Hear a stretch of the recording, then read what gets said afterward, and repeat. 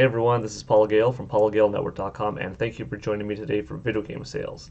It is May 13th, 2022 and in today's video we are going to go over the official NPD results from the month of April 2022 courtesy Mat Piscatella from the NPD group as he very kindly puts together these charts once a month on Twitter. Be sure to follow at Mat Piscatella on Twitter.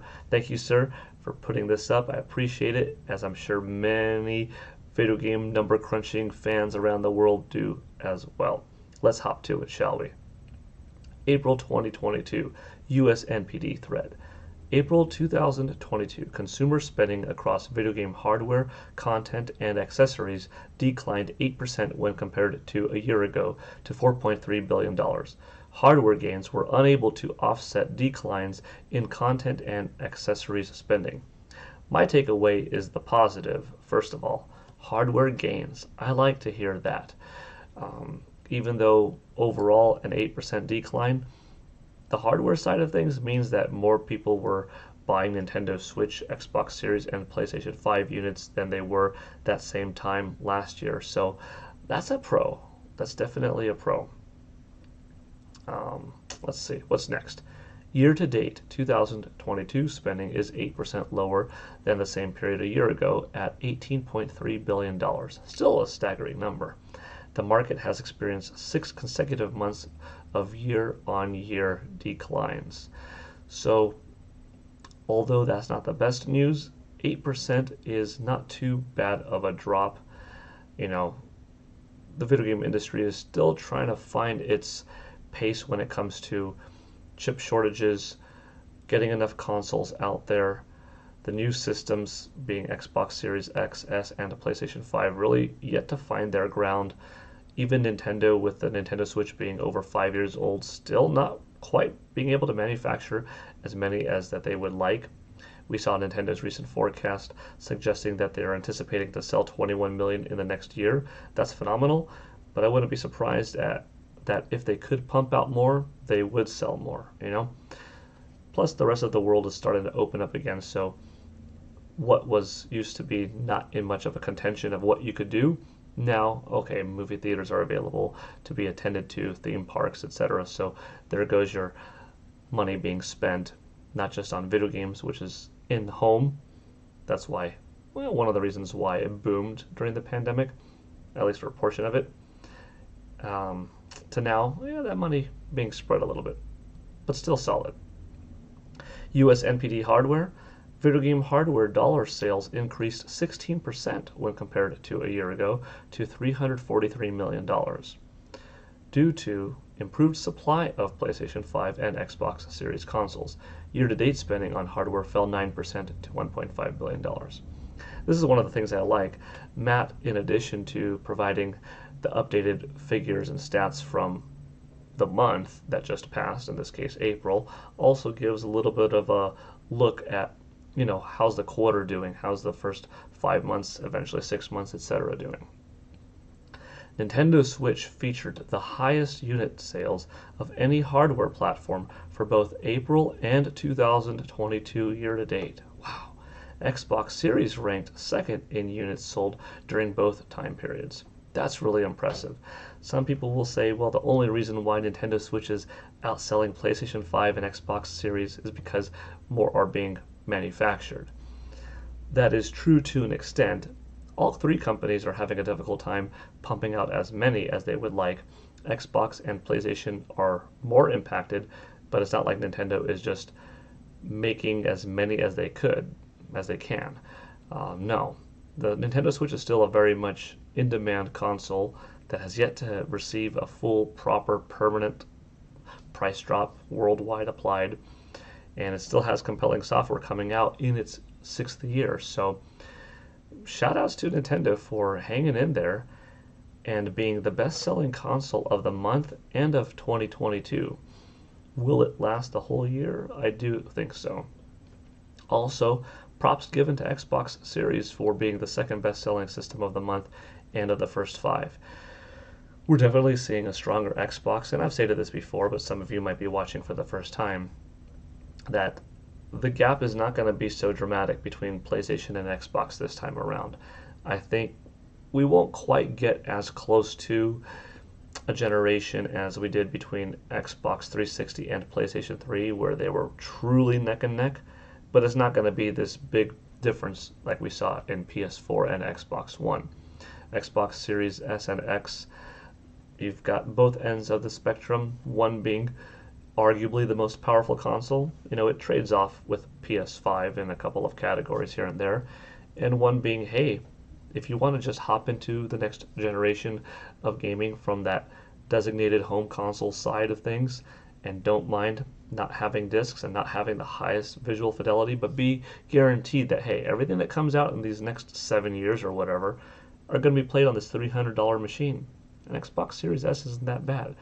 Plus, it looks like Microsoft is having a little bit easier of a time pumping them out, pumping them out than Sony. So, at least on the United States side of things, Xbox is, you know, gaining some ground over PlayStation for this year. Japan, other territories is another story, but uh, pretty cool to see. This is overall a healthy market for all three.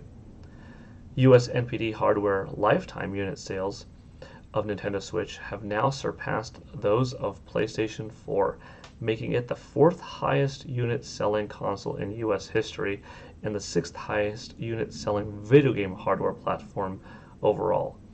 In console, it trails only PlayStation 2, Xbox 360, and Wii. That is wild, isn't it? If you're wondering what else is there because how could it be the fourth and the sixth? Well, the Game Boy and the Nintendo DS occupy other spots in those top five, which is why overall of video games, Nintendo Switch is the sixth. Of consoles, which the Nintendo Switch is at the end of the day, a home console. Yes, it's also a hybrid. Yes, it's also a handheld, but it is it was released as a home console that can do everything, right? It's the fourth. It will surpass Wii and Xbox 360 soon in the United States. It already passed them both worldwide. And then reaching PlayStation 2 is going to take a little bit more time, but I'm confident that it will eventually surpass PS2 both in the United States and worldwide. US NPD hardware, PlayStation 5 led April in hardware dollar sales, trailed closely by Xbox Series and Nintendo Switch. Xbox Series has generated the highest hardware dollars of any platform year to date, followed by PlayStation 5 and Nintendo Switch. That's pretty cool. You see, that figure that we went over earlier with Xbox Series selling just second to Nintendo Switch it was second to it, but it was also second to PlayStation 5's dollars generated because PS5 has two SKUs a $500 and a $400 machine. Xbox overall sold more Series X and S's, but those are $500 and $300 machines, which is why it was second in that category as well. But still, trailed closely by Xbox Series and Nintendo Switch means that all three systems are selling a lot and that is awesome to see. Good growth in the industry, only held back by shortages at this point. All right, next up US NPD Premium Games. Lego Star Wars The Skywalker Saga was the best selling game of April 2022, while also debuting as the number two best selling game of 2022 year to date. It was the best selling game of the month across Nintendo, PlayStation, Xbox, and Steam platforms. I picked up the title last month and I've been having a lot of fun with it. It's a really good quality title, um, regardless of what platform you have. If you like Star Wars, no brainer. If you like Lego, I would say probably no brainer. If you just want a good value, probably once again no brainer because you're getting nine movies worth of stories voice acting, cinema scenes, characters, gameplay mechanics, etc., in one piece of software. So, very worthwhile, unless if you're just totally not a fan of Star Wars, the action genre, Legos, etc., then it's not for you. But I think this game will satisfy quite a few people out there. LEGO Star Wars The Skywalker Saga achieved the highest launch month dollar sales for any LEGO title in history, and after one month ranks among the top six best selling LEGO games life to date. Quite impressive. I'm seeing a lot of all time best selling achievements happen this generation so far, you know. Uh, things like Kirby and the Forgotten Land. Okay, fastest selling Kirby game to 2 million. 2.6 million, putting it higher than, you know, a majority of Kirby games. You know, with just a couple of weeks of availability, this new Lego Star Wars game being one of the six best Lego selling games of all time and the highest launch month for anyone ever. Like, yeah, it's cool. Records are meant to be broken, right? Lego Star Wars The Skywalker Saga is the first third party game to rank as the best selling title on Nintendo platforms since March 2021. So that's a 13 month uh, record that Monster Hunter Rise had. You know, third party games continue to sell and sell well on Nintendo Switch. They have done so in the last 13 months, but there's nothing quite like that for the most part Nintendo first party software that you know precious IP of theirs, including Pokemon, which is co-owned. But there's nothing quite like that for dominance on the charts. They're always number one most of the time. And here we have uh, Lego Star Wars: The Skywalker Saga as number one on Nintendo Switch, a third-party game, first to do so since Monster Hunter Rise. Pretty cool. Elden Ring was the second best-selling title of April 2022. Elden Ring remains the best-selling game of 2022 year to date and has surpassed Call of Duty Vanguard to become the best-selling premium game of the trailing 12-month period ending April 2022. That's wild. Call of Duty Vanguard has been on here for a long time, so to have Elden Ring surpass it is definitely very impressive. Sensor Tower US Mobile. US mobile game spending growth was expected to experience a cooling down period once worries about the coronavirus waned and consumers once again had more entertainment options available to them. That's kind of something that I was expressing earlier. Money can only be spent on so many things. When you have more available, then more competition within itself. So you see some things go down here and there. The greater than anticipated degree of negative year-over-year growth comes as spending on games through Google Play takes a larger than expected hit due to inflation and the end of annual stimulus payments. True points. Despite the slowdown in spending, usage of the top earning titles remains as strong or stronger than ever, telling us that the players haven't left and could very well begin spending more judiciously once macroeconomic conditions improve. Top earning US mobile games for April 2022 Candy Crush Saga, Roblox, Coin Master, Evony The King's Return, Royal Match, State of Survival, Zombie War, Bingo Blitz, Clash of Clans, Genshin Impact, and Call of Duty Mobile. Here's a chart that I know people like to see, myself included. Let's open it up. This is the April 2022 top 20 sellers. We've got at number one, Lego Star Wars The Skywalker Saga. Two for Elden Ring. Three, MLB The Show 22. Four, Kirby and the Forgotten Land. 5. Nintendo Switch Sports, which came in at the very end of the month, only up there for two days. So that's impressive. Call of Duty Vanguard in 6th, Horizon Forbidden West in 7th, Mario Kart 8 Deluxe at 8, Gran Turismo 7 at 9th. In 10th place, Pokemon Legends Arceus. 11th goes to Minecraft. 12th, 12th place, FIFA 22, Call of Duty Black Ops Cold War in 13th, Super Smash Bros. Ultimate was the 14th best-selling game of the month, Marvel's Spider-Man Miles Morales came in at 15, Animal Crossing New Horizon 16, WWE 2K22 at 17, Mario Party Superstars was the 18th best-selling game of the month. Coming in at 19 was Madden NFL 22, and to finish it off, we've got Tiny Tina's Wonderlands in the 20th spot a good mix of seasoned games that have been around for a while, like Smash Brothers and at this point Animal Crossing, Mario Kart, Mario Kart in particular, coming in pretty strong. Some good showing of games that are holding on to some some power, like Kirby and Elden Rings in particular. A new title taking that number one top spot, Lego. Nintendo Switch Sports coming in at five, very strong for only being available for two days on the market. It will be interesting to see that one in the month of May, in which we will get those results mid June. I'm curious because that one also has a price difference between digital and physical. And that also should be reminded that these charts they don't include Nintendo's eShop sales. So in reality, some of these Nintendo titles here could actually be a couple of spots higher in some cases. The year to date 2022 top sellers. This is another interesting one because that was the month. This is the year so far.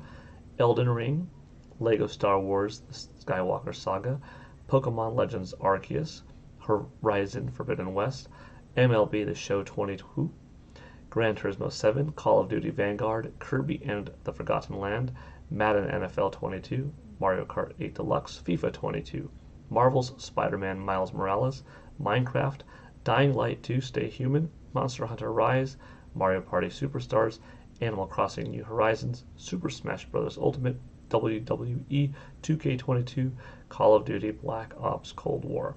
So a lot of the games that you saw as top selling titles of April are once again once again here in the top 22 for the first four months of the year overall. But you know we have some titles that showed up that weren't in the month of April. Finally, we'll go over this one. This is the US NPD Premium Games 12 months ending April 2022. So this goes from that 2021 April to 2022 April, or more accurately, that May 1st of 2021 through April 30th of 2022 timeframe. So these last 12 months, and this is where Elden Ring uh, came out on top.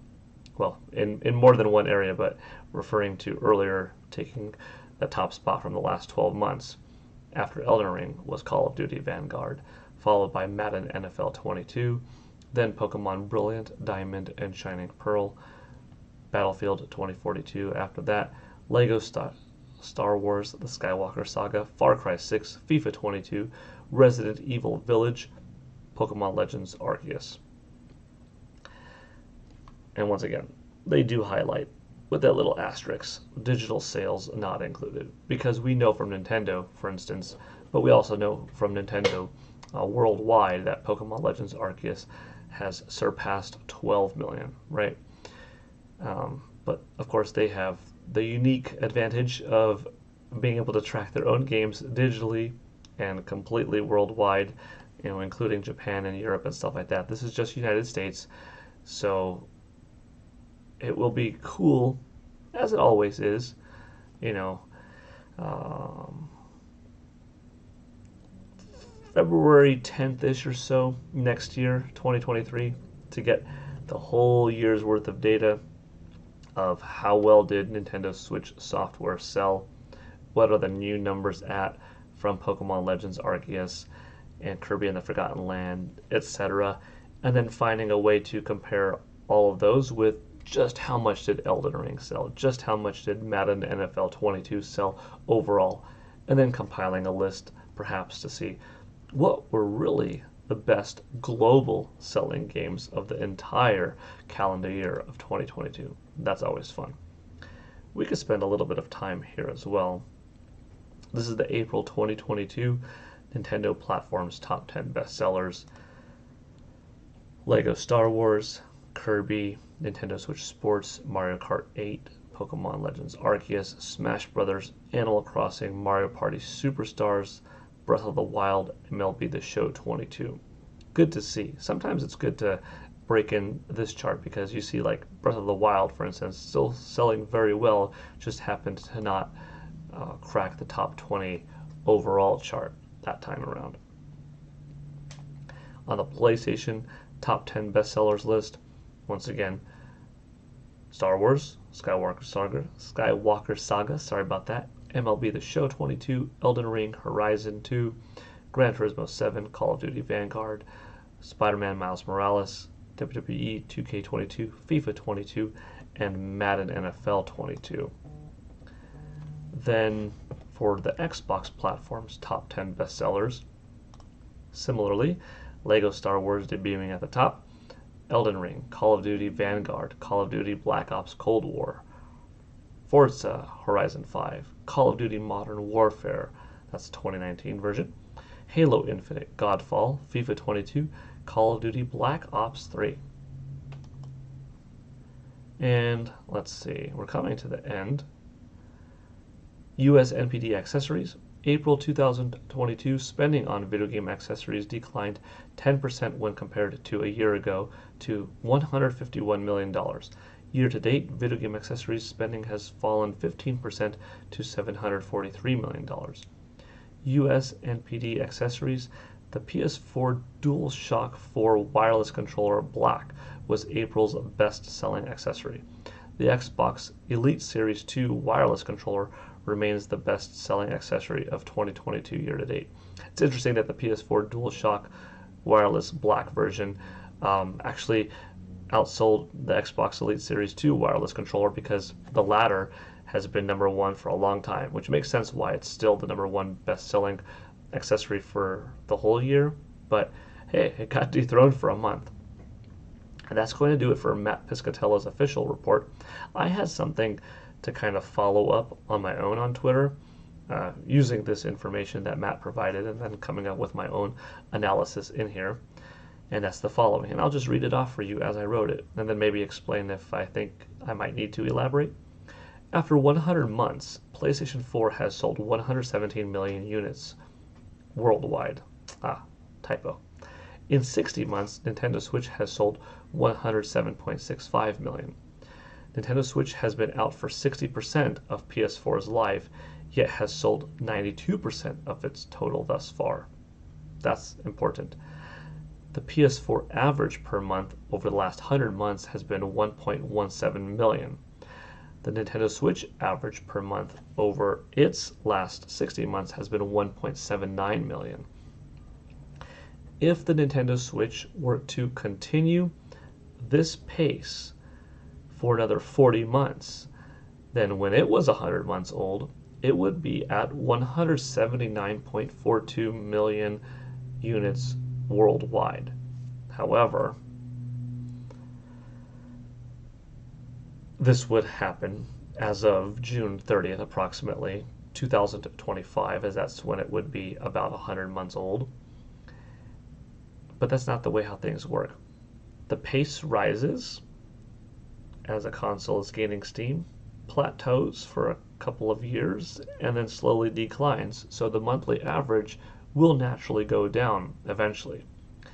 We could see some spikes on Nintendo's side of things, however, and some of those are really unknown. They're determined on a few factors, and I'm going to break that up here. Will we see a price drop? If you see a significant price drop on a really healthy Nintendo Switch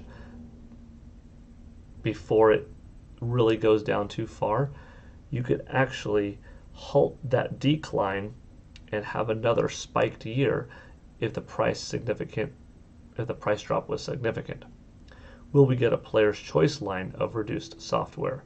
That only that not only helps software increase long run, which we're already looking at 1,035,000 being sold by March 31st next year, but reduced excuse me, reduced software also helps would be potential Nintendo Switch console owners be more inclined to buy the console because now they're looking at it as not only is this system available for less because it's down to 70 bucks or 100 bucks, but also I could get a fair amount of games for only $150 without having to spend hundreds of dollars for these highly recommended titles. Will there be a Nintendo Switch Plus before Nintendo Switch 2?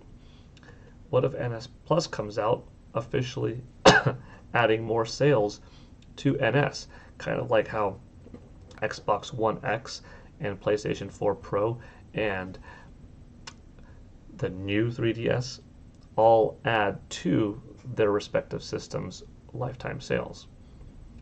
And then Nintendo Switch 2 comes out, and okay, that's its own thing. When Nintendo Switch 2 does come out, will there be cross gen support for NS for a couple of years? You know, something that I think Nintendo needs to do a little bit better this time around is into Nintendo Switch 2's life for a couple of years, release high end software that still can be played on Nintendo Switch, but experienced into much better, higher fidelity, performance, etc. on Nintendo Switch 2. So if you're buying Mario Kart 9 and it comes out, you could play that cartridge, you play that download on your Nintendo Switch, you could experience it a little bit better on Nintendo Switch Plus. But if you have a Nintendo Switch 2, there's a clear difference. That way you're taking advantage of this giant install base of 140 something million, 170 million, and you have a compelling reason for the hardcore that want to hop in early and experience the best that have had the Nintendo Switch for the longest amount of time and are craving for that difference in visuals. Ah, a reason to expand. And also, you're not going to be able to pump out as many Nintendo Switch 2s at launch in that first year as you would like. So, you're still going to sell software to the existing fan base and people in hopes of being able to play it on their next system, buying it for that reason too, etc. You see where I'm getting at. Nintendo really has to be careful, and they have a tremendous opportunity to do something that like no console has ever done before, and that's reach 200 million. And I'll get to that in a moment. Will Nintendo Switch 2 be backwards compatible?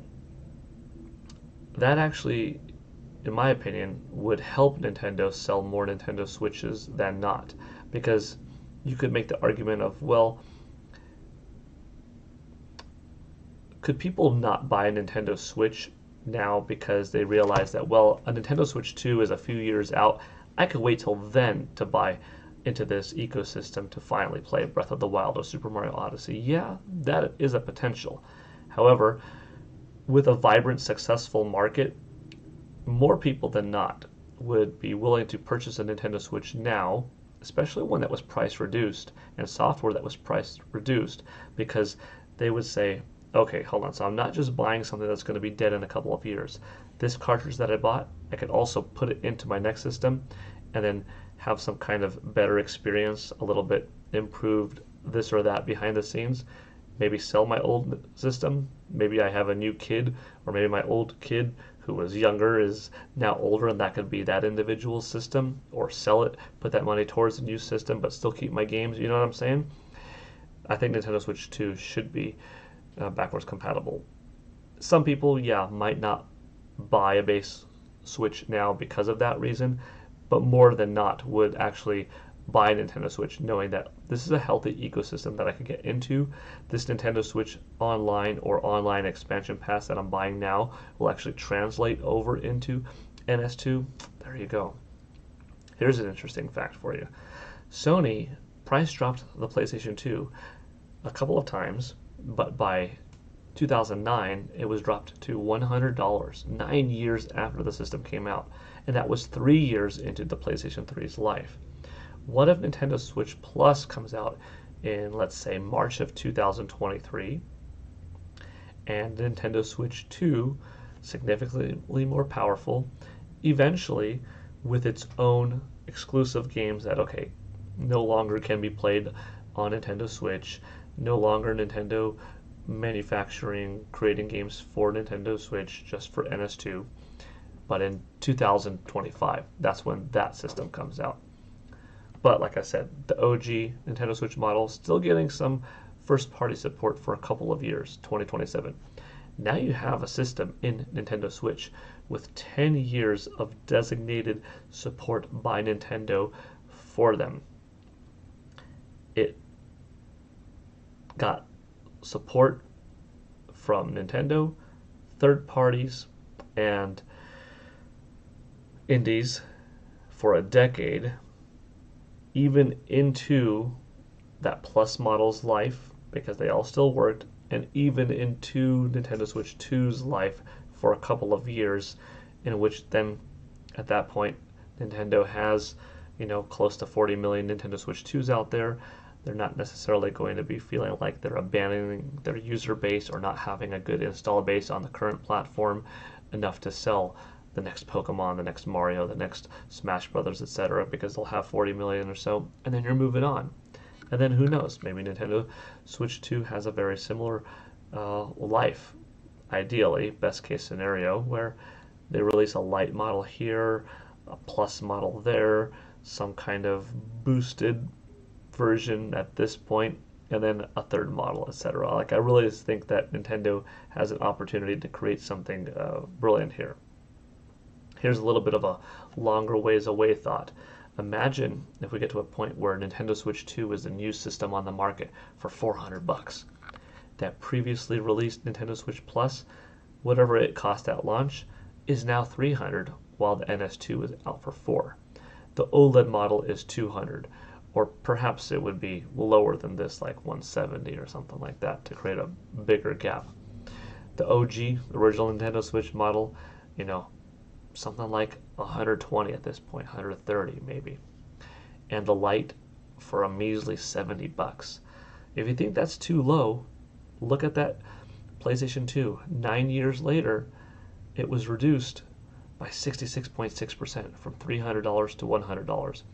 So who's to say that the Nintendo Switch Lite can't go from its $200 down to 70? That wouldn't even be as great of a percent drop or the base Nintendo Switch even from 300 to 100. That's exactly that PlayStation 2 scenario. So these numbers that I'm picking aren't necessarily too far-fetched. You could maybe say, like I said, lower the OLED model a little bit, increase the OG a little bit, increase the Lite slightly, but this kind of pricing structure seems possible. Is it overwhelming potentially to some? Perhaps. Sometimes having so many SKUs at this point you'd have NS2, NS Plus, OLED, the OG, and the Lite. Five different things on the market. You know, you, you could run into a case where someone's going into the store perhaps a little less informed, less hardcore than you and I watching slash recording this. And like, I want the new Nintendo Switch. What is it? Well, we don't have the Nintendo Switch 2. You want the Plus or do you want the OLED model? It's a lot less because they're sold out of the 2. Yeah, okay, fine, I'll just get that you, you have that. Is that a return? Is that just a, a buy and deal with?